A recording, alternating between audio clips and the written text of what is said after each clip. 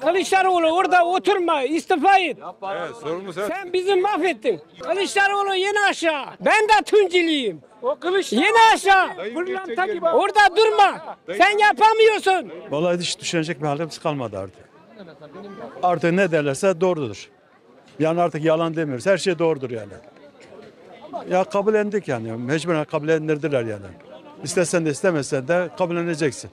Yani başka çare yok. Yani biz itiraz ettiğimiz zaman TÜİK şeyini değiştirecek mi? Nereden aldığını söyleyecek mi? Sepete neler koyduğunu söyleyecek mi? Söylemiyor. Yani meçhul yani ne oldu belli değil. TÜİK ne derse doğru. Artık o insanları inandırmışlar yani. Yapacak bir şey yok. Peki alım gücü ne durumda sizce? Valla alım gücü yani kendime göre berbat. Çok berbat. Neden berbat dersen 75 tane maaş alıp da bir insan nasıl geçinecek, nasıl yapılır? Ya eskiden insanlar haftada 3 kilo et alıyordu. Şimdi ayda 1 kilo et alamıyorsun. Çarşıya çıktığın zaman en ucuzdan almaya çalışıyorsun. Yine 300-400 lira. Ya o da peyniri dahi alamıyorsun, kahvaltılı alamıyorsun. İstediğini alama, alamıyorsun, yani istediğin gibi beslenesin. Yok. Nasıl yapacaksın, nasıl olacak? Peki nankörlük yapılıyor diyen vatandaşlarla da karşılaşıyoruz. Ya şimdi şöyle çok adam alıyorsa biraz kısılırsa belki onun için nankörlük olabilir ama bizim için çünkü aldığımız belli, harcadığımız belli. Hani fazla alırsak o zaman deriz ki hakikaten çok fazla aldık. Nankörlük etmiş oluruz. Deriz ki yani mesela maaşımız 50 lirada kalkıp da itiraz ediyoruz. Ya hiç halimizden memnun değil dersek nankörlük olur. Ama şu anda 75 lira alıp da bunu nankörlük demek yani abeste iştigaldir yani başka bir şey değil yani. Doğrusu bu yani. Yani yeter ki bu açıdan bakmak lazım yani. Yani nankörlüğün bir tanımı budur yani. Yoksa adam az kazandıktan sonra nasıl nankör olabilir ki? Nasıl yapsın nankör? Nankör olması için ne yapması lazım? Çok yüksek maaş alması lazım ki ondan sonra kalsın itiraz edebilsin yani. yani. Ben şu anda itiraz edecek durumu yok. Ben şimdi nankör kalsın desem o çok şükür Allah'a çok şükür iyidir mi iyidir desem kendime nankörlük etmiş olurum. Yani karşımdakine değil. Kendime nankörlük etmişlerim. Çünkü kendime yetmediğini bildiğim halde kalkıp da karşındaki kişiye o çok süper ya bana yetiyor rahat rahat geçiniyorum hatta tasarruf yapıyorum diyebiliyorsa o kendine nankörlük yapmış olur yani. Karşıdaki kişiye değil. Kendine nankörlük yapıyor. Yani kendi kendini kandırıyor yani. Buna bu açıdan bakmak lazım. Eklemek istedikleriniz varsa alabiliriz. Yok valla Allah sonumuzu hayır etsin. Bindik bir diyorlar bindik bir gemiye gidiyoruz kıyamete artık ne olacağımız belli değil. Böyle gidecek artık. Yani yapacak bir şey yok yani. Ne yapsak boş yani. Vallahi usta alım gücü çok zor. Biz e, şahsen burada yaşamıyoruz zaten. Avrupa'da yaşıyoruz. Yani biz geldik burada gördük. Gerçekten çok pahalı. Her şey pahalı. Baya pahalı. Yani buradaki vatandaşlarımıza Allah yardımcısı olsun. Yani Almanya'ya göre daha pahalı burası. Ya Almanya'ya göre evet alım gücü olarak burada gerçekten çok pahalı.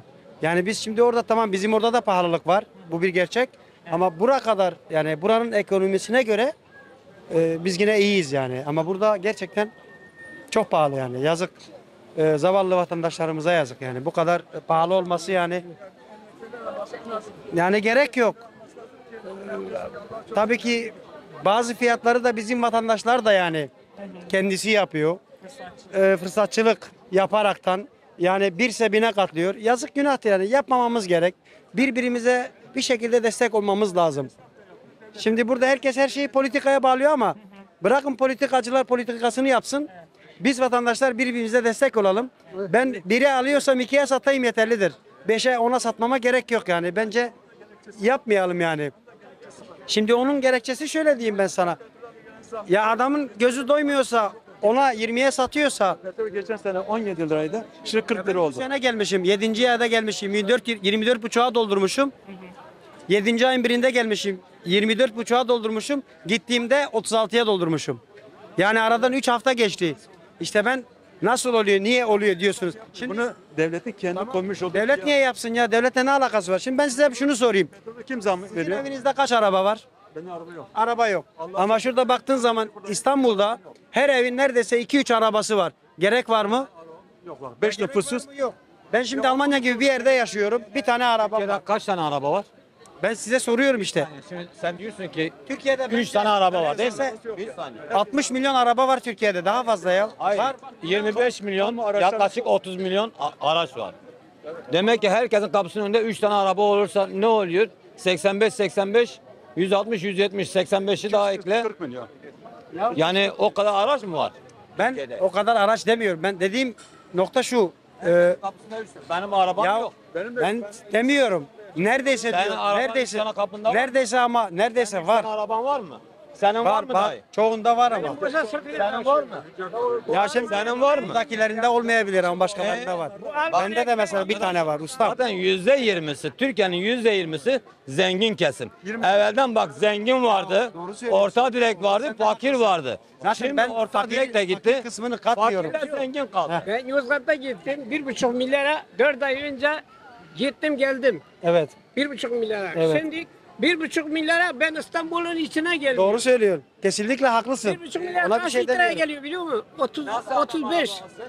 İşte benim amacım ben demiyorum. Fakir kısmını zaten ben katmıyorum. Bir şey ben demek miyim? istediğim zaten Şu Kılıçdaroğlu'ya söyle ki istifa etsin. senin durumun iyi değilse Kılıçdaroğlu orada oturma. olmaz. Kameraya doğru. Ha, Kılıçdaroğlu orada oturma. istifa et. Evet, sorumlu sen. Sen bizi mahvettin. Zamları sen yapıyorsun. Ha. Kılıçdaroğlu yok yapıyor. O yensin aşağı. Yap, yapamıyor. Yapamıyor. Aşağı yensin. Kılıçdaroğlu'yu indirin. Şey mi? 20 yıldır Kılıçdaroğlu yönetiyor? Tabii canım. Siyasetçi Yok yapıyor. yok. Yapamıyor. Dayı yapamıyor. Yapamıyor. Kılıçdaroğlu yensin aşağı. Ekonomiyi, ekonomiyi, Merkez Bankası'nı kim boşalttı? He? Cumhurbaşkanı Sen kim? oraları boş ver. Sen akıllı çalıştır. Boş ver. Oraları açma. Sen çuvalından sen. Kılıçdaroğlu yeni aşağı. Ben de Tunciliyim. O. Yeni aşağı. Gibi. Orada durma. Sen yapamıyorsun. Bir sağa kalıyorsun, bir sola kayıyorsun, bir şeye kayıyorsun. Yine aşağı. Aşağı in. ülkeye. Heh, Aşağı insin. Ya ne Kılıçdaroğlu ülkeye ne yaptı? Yensin, yensin. Yensin. Ben de Tunciliyim, Hozatlıyım. Ben Dirsimliyim arkadaş. ya. Kılıçdaroğlu aşağı insin. Tamam dayı, mesaj gitti. Heh. Şeymanı çıkar abi ya. Ekonomiyi, Merkez Bankası'nı ne yapalım? Kim boşalttı?